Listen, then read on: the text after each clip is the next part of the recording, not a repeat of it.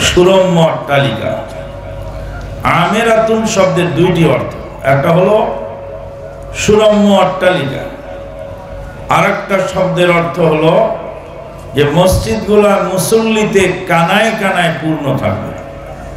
মুসল্লি জায়গা হবে কিন্তু ওয়াহিয়া খারাপ হুদা, সেখানে হেদায়েত থাকবে রসুল্লাহ মসজিদ ছিল কাঁচা। সাহাবিদের ইমান ছিল পাকা। এখন আমরা মসজিদ পাকা করার প্রতিযোগিতায় নেই। কিন্তু ইমান তাজা করার প্রতিযোগিতা আমাদের নেই। মসজিদকে সুন্দর করবার চেষ্টা করছে। কিন্তু এবাদতকে সুন্দর করবার চেষ্টায় নেই। কাজেই মসজিদ পাকা করার পাশাপাশি ইমানকে তাজা করতে হবে, সালাদকে ঠিক করতে হবে। সালাদ কবুল হলো কিনা, সেটাও দেখতে হবে। দুর্বা ঘাসের উপর যদি আপনি, আমি সেজদা দিই। খড়কুটার উপর যদি সেজদা দিই। সালার চটের উপর যদি সেজদা দিই। আর সেই সেজদাটা যদি আল্লাহর কাছে কবুল হয়, তাহলে ওটা ওর কোনো মূল্য নেই, অমূল্য সম্পদ। কিন্তু সঙ্গে মারমার পাথরের উপর সেজদা দিল কিন্তু সেজদাটা কবুল হলো না أعوذ بالله من الشيطان الرجيم فمن كان يرجو لقاء ربه فليعمل عملا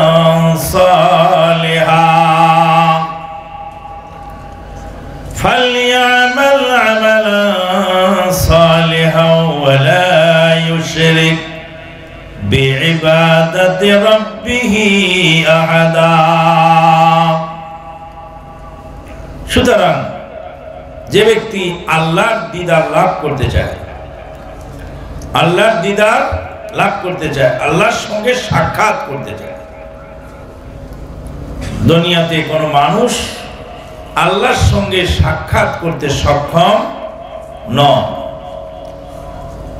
আল্লাহকে দেখতে চেয়েছিলেন কোন নবী মুসা কালিমুল্লাহ আলাইহি সালাতু ওয়াসসালাম মুসা কালিমুল্লাহ আল্লাহকে দেখতে চাইলেন কেন হঠাৎ করে মনের মধ্যে এই বুদ্ধি আসলো কেন قال ربي أرني قال الله تبارك وتعالى إنك لن تراني প্রভু হে একবার সাক্ষাৎ দাও। তোমাকে একবার দেখতে চাই। তোমার চেহারাটা একবার দেখার বড় ইচ্ছা হয়। আল্লাহ বলেন তারানি। ও মুসা পশ্চিমকালেও আমাকে দেখা সম্ভব নয়। ইন্নাকা নিশ্চয় তুমি ল্যান তারানি। লান হলো আর্টিকেল।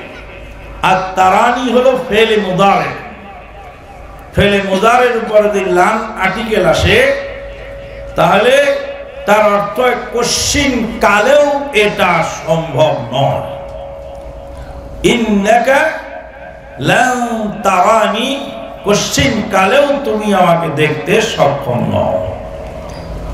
মুসা আলহি সালাম আল্লাহকে দেখতে চেয়ে দেখা সম্ভব হয়নি। ইচ্ছা জাগলো কেন وكلم الله موسى تكليما তোর পাহাড়ে দাঁড়িয়ে মুসা আলাইহিস সালাতু ওয়াস সালাম আল্লাহর সঙ্গে কথোপকথন করছিলেন আল্লাহর কথা এত মিষ্টি আল্লাহর কথা এত মধুর আল্লাহর কথা শুনে মোসা কালিমুল্লাহ পাগল হয়ে গেলেন। প্রভু হে, তোমার কথা এত সুন্দর। না জানি তোমার চেহারা কত সুন্দর। তোমার সৃষ্টি যদি হয় এত সুন্দর, না জানি তাহলে প্রভু তুমি কত সুন্দর। তুমি কত সুন্দর। আল্লাহর সৃষ্টিজীব কত সুন্দর। মালদ্বীপ সফরে হুলিমারি দ্বীপ থেকে ফিলিঙ্গিরি দ্বীপে যাওয়ার পথে পানির জাহাজে ভারত সাগরের ভিতর দিয়ে আমরা যখন চলছিলাম, প্রায় আনুমানিক তিরিশ ফুট নিচে পানির মধ্যে কত ডিজাইনের মাছ দেখা গেল। মাছের ডিজাইনও আলাদা, কালারও আলাদা। তোমার সৃষ্টি যদি হয় এত সুন্দর, না জানি তাহলে প্রভু তুমি কত সুন্দর, তুমি কত সুন্দর। বাহারাইন শহরে হুলু লুলু হাইপার মার্কেটে বাজার করতে গেলাম। লুলু হাইপার মার্কেট। বাজার করতে গেলাম, কাঁচা মরিচ চাইলাম তো দিল আমারে পাকা মরিচ। কাঁচা মরিচ না দিয়ে কি দিল? লাল মরিচ দিল। কি মরিচ? লাল মরিচ। আমি বললাম I want green chillies I don't like this red chillies আমি লাল মরিচ নিব না। আমি কাঁচা মরিচ চাই। সেলসম্যান মুসকি হাসি দিয়ে বলল সাল এটা পাকা মরিচ নয় এটা আফ্রিকা থেকে এসেছে। আমার আল্লাহ আফ্রিকার মরিচের কালার লাল দিয়ে বানিয়েছেন। আল্লাহ